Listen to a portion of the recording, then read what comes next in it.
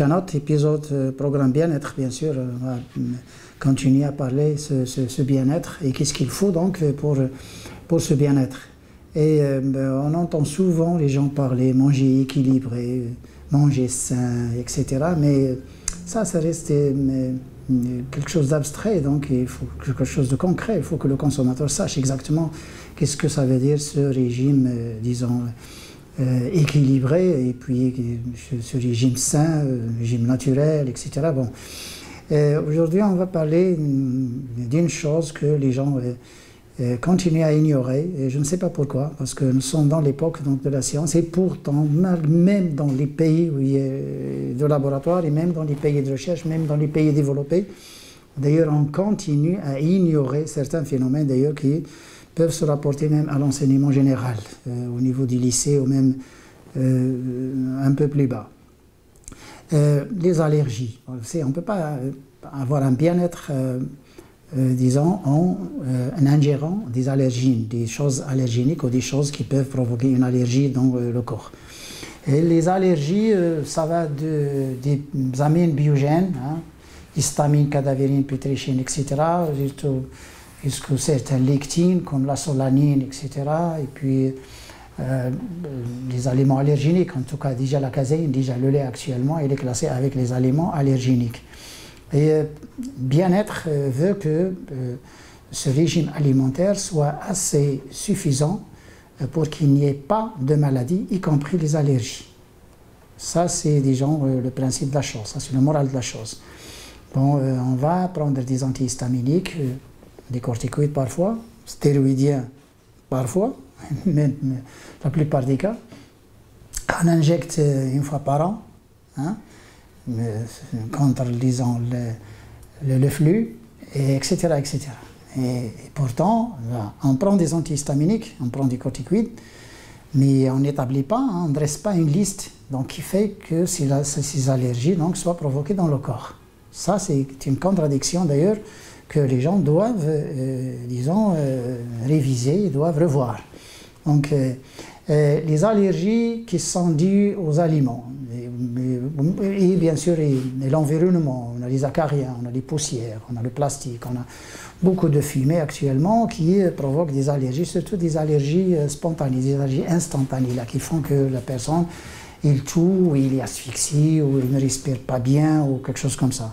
Et puis, il y a des allergies qui sortent après une journée ou deux journées, etc., comme l'ingestion de l'histamine, dans certains types de saucissons, de fromage ou de poisson.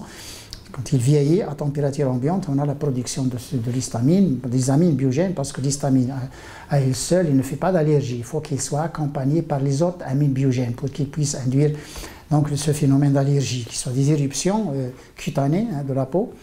Parfois, c'est des maux de tête, parfois, c'est un nez qui coule, parfois, c'est la chatte c'est d'ailleurs dans, la gorge, hein, c'est des démangeaisons, parfois c'est dans l'oreille, etc. il, y en a, il y en a beaucoup. Hein, il y en a beaucoup. bon, l'extrême, c'est le dim hein, c'est là où, c'est le coma.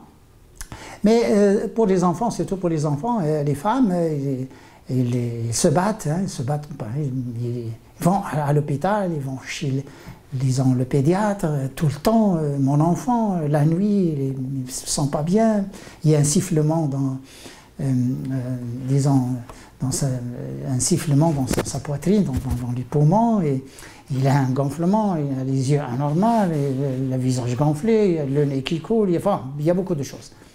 Mais euh, il fait bien ça, la femme, elle fait bien ça, elle se rend chez un pédiatre, elle achète les médicaments.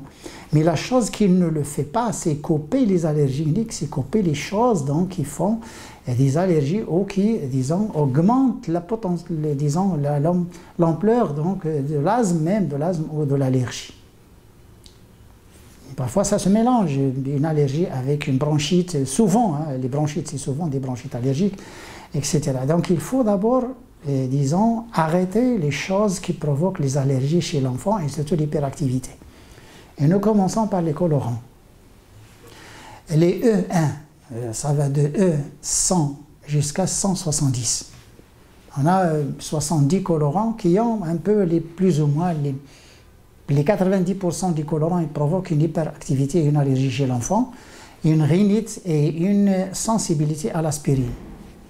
Et puis, euh, ben, il y a des colorants qui détruisent l'ADN, hein, ça va jusqu'au cancer, et puis d'autres donc qui font euh, euh, un chamboulage hormonal. Les colorants, c'est, disons, la plupart des colorants, la quasi-totalité des colorants, ça provoque une allergie, une hyperactivité chez l'enfant.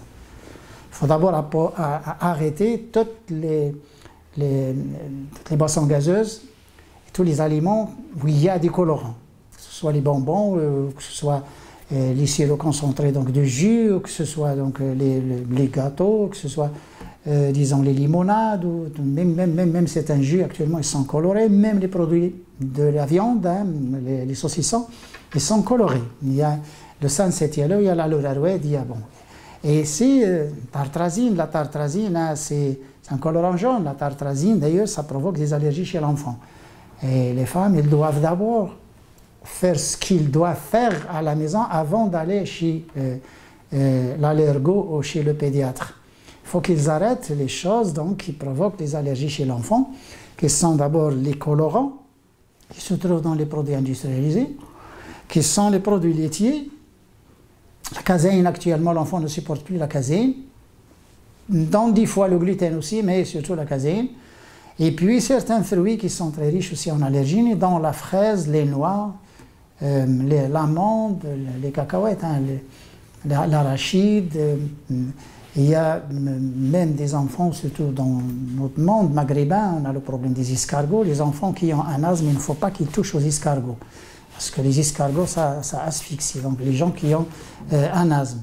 Il faut d'abord supprimer les aliments qui contiennent les colorants, les aliments qui contiennent les benzoates et les sorbates, les aliments qui contiennent les carragénans, les parabènes et tout ça, donc ça c'est interdit pour les gens allergiques. Et puis certains les aliments allergéniques connus d'ailleurs qui sont définis par le pédiatre. D'ailleurs le pédiatre définit bien la liste donc, des allergéniques. Donc euh, qui sont l'œuf, euh, le lait, qui sont les, noix, qui sont l'amande, qui sont les cacahuètes, qui sont la fraise, la tomate, qui sont euh, tout ça, le kiwi aussi, ça entre dans la liste malheureusement. Et surtout les pesticides. Actuellement, les pesticides, et les choses qui sont traitées fortement et lourdement par les pesticides, ça provoque l'allergie, pas uniquement chez l'enfant, mais chez, chez, l'adulte aussi.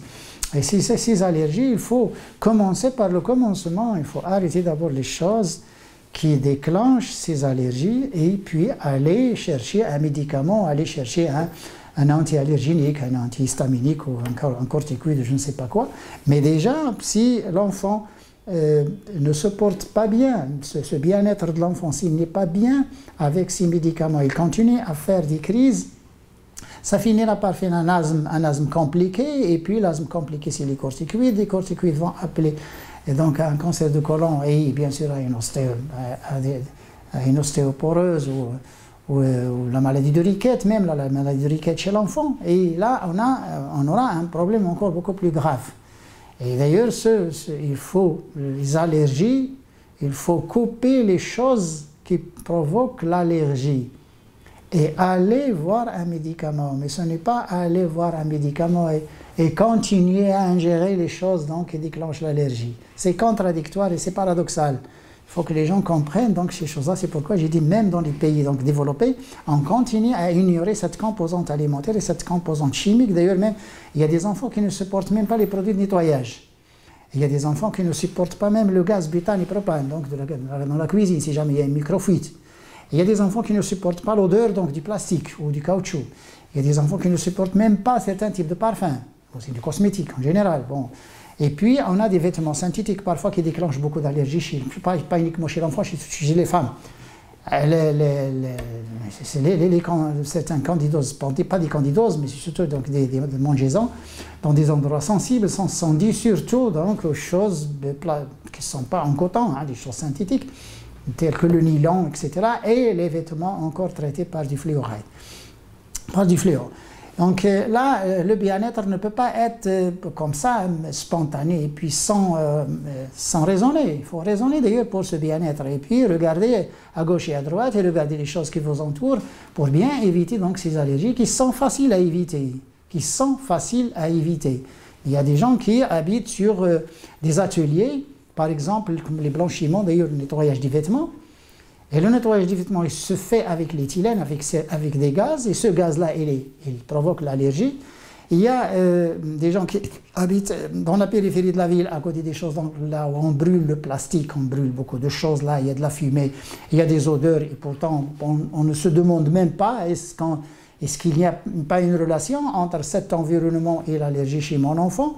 Et puis il y a euh, des gens qui habitent même euh, à côté donc, de certaines industries chimiques ou la peinture, des trucs comme ça, le nettoyage des voitures, des trucs comme ça là qui utilisent des solvants et qui utilisent des produits de nettoyage qui sont très forts. Là, ça provoque aussi l'allergie, surtout si les enfants, les enfants de 4 ans, 5 ans, 6 ans, là, ils, peuvent donc sortir une allergie très facilement.